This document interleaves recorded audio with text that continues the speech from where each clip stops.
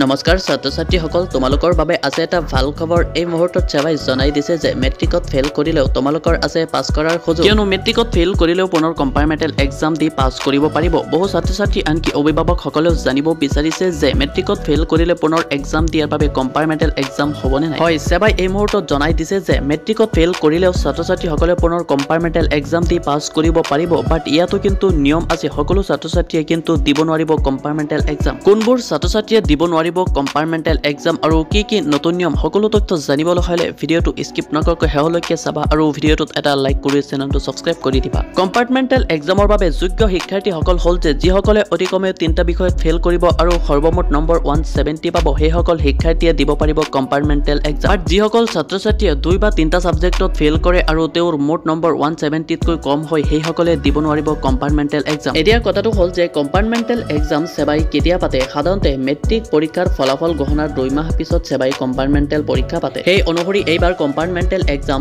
July August মাহত অনুষ্ঠিত কৰা হ'ব আৰু এই কম্পাৰ্টমেণ্টেল পৰীক্ষাৰ ফলাফল সেৱাই অতি শীঘ্ৰেই ঘোষণা কৰে। এইবাৰৰ কম্পাৰ্টমেণ্টেল পৰীক্ষাৰ ফলাফলৰ ঘোষণা খুব সম্ভৱতঃ আগষ্ট মাহৰ শেষ ভাগত নহ'লে ছেপ্টেম্বৰ মাহৰ প্ৰথম ভাগত ঘোষণা কৰিব।